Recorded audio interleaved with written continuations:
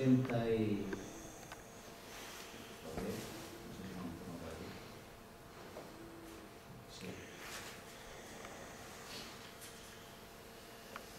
Desde 1956 se dedicaron a, a ver los sitios donde podían estar los cuerpos de sus camaradas caídas, encontraron los cuerpos, encontraron eh, y les dieron a todos, a todos los cuerpos una tumba, la tumba que los familiares querían darles y si no tenían familiares eran ellas las que decían dónde tenían que estar enterradas y se reunían todas, sin faltar ni una, en esta, tanto en, en los enterramientos de sus camaradas caídas como los días 2 y día 8, 2 de mayo y 8 de noviembre. Esas imágenes que he visto al principio de las adorables abuelitas, hasta el 2006 han seguido reuniéndose.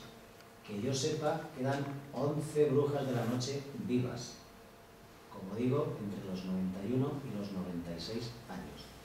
He podido seguir la pista de algunas de ellas, aquí está recogido también en, en, los adendas del, libro, pues por ejemplo, un Yevdokia Pasco se doctoró en matemáticas y fue profesora en la Escuela de Técnica Superior de Moscú. Un poco la vida que tuvieron después de terminar la guerra. ¿no? Eso es lo que hace interesante, bajo mi punto de vista, el libro. Puedo decir que yo me he enamorado de las 263 mujeres.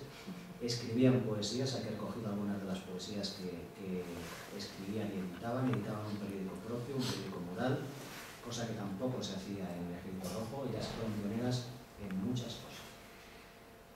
Alguien ha dicho que yo hago un cálido homenaje, eso es verdad, y simplemente terminar diciendo que ha sido uno de los libros que he escrito con los que más he disfrutado y que más he sentido terminar, porque lo que pedía el cuerpo era seguir investigando, investigando y sabiendo más de esta mujer.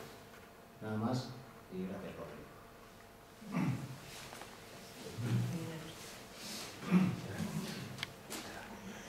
Me gustaría comprarle. Pues ahí tenéis... Luego puedo venir a que me le firmes o estás cansado.